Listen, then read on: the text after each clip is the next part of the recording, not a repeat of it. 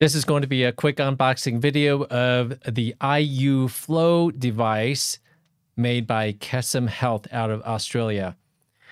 This is an interesting device. It, it's an automated home voiding diary device.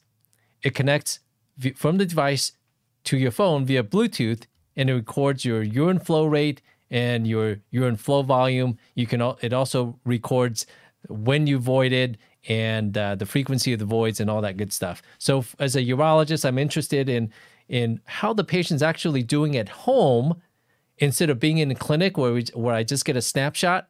And for the end consumer, you may be interested in how you truly are voiding, and you can also take that information and give it to your urologist at your next office visit or at your next telemedicine remote visit. So let's get right into it.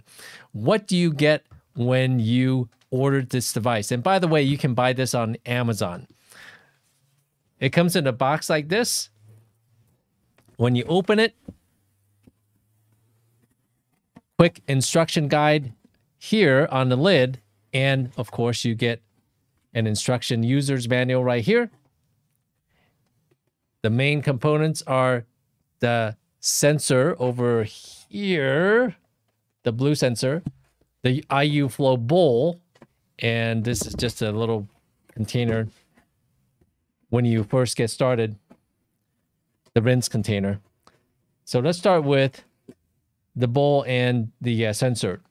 This is uh, this has some pretty fancy technology built in because it'll measure your urine flow. It connects via Bluetooth to your phone uh, using an app that you can download for free in the App Store and also the Play Store, either Apple or Android. It's available for both. When you pick it up, it automatically knows that it's uh, being used and it has it must have a built-in accelerometer. So to connect the sensor to the iUFlow bowl, you turn the bowl upside down and you'll see this orange dot on the sensor right here. You line up the orange sensor dot with the unlock symbol right there.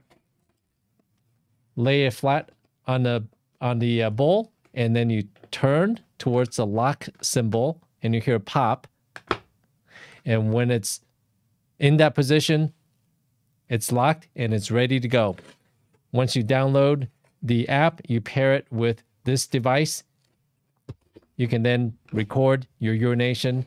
And uh, I guess this is a pretty good rinse uh, container so if you want to store this, if you want to use the toilet for other than uh, a purpose other than urination, you can use this as a stand, I, I suppose, and and put that away. So that's a quick unboxing video of the iUFlow device. As usual, if you have any questions or comments, leave them below.